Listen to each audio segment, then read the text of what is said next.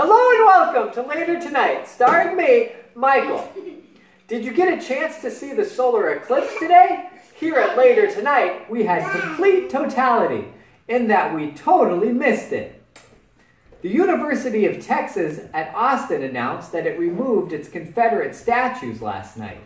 Students were skeptical about the claim and how the university could have replaced the statues so fast, and they only became more skeptical when they looked at the plaque next to one of the new statues, which read, Robert E. Schmee, an all-around nice guy who famously had one of those faces that you're pretty sure you've seen somewhere before, but then you realize you're wrong and you hadn't seen it anywhere before.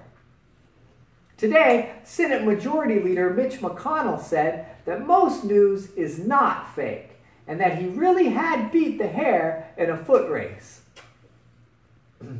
well, Elon Musk asked the UN to ban weapons that use artificial intelligence.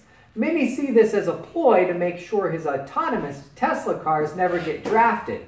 But maybe he's serious, and maybe he has a point.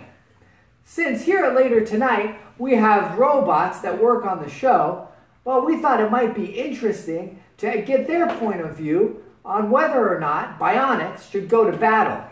So we asked our later tonight broom if, uh, if it could write a statement for us on this issue. And uh, I have his statement right here, uh, ready to read it.